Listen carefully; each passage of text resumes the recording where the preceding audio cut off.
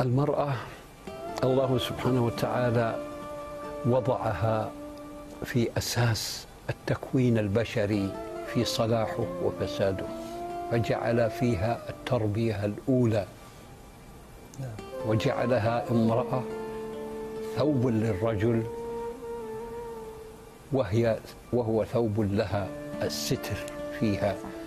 لذلك أراها إن صلحت صلح البيت وإن كان القيم فرعون وإن فسدت فسد البيت وإن كان القيم نبي. فعلينا بالتربية الخالصة التركيز على تربية المرأة لتكون خلاقة قوية عاقلة. لا نضعها دائما في الدونية.